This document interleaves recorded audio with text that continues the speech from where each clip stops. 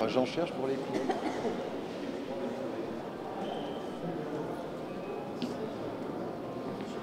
Projection sur le tableau. Hmm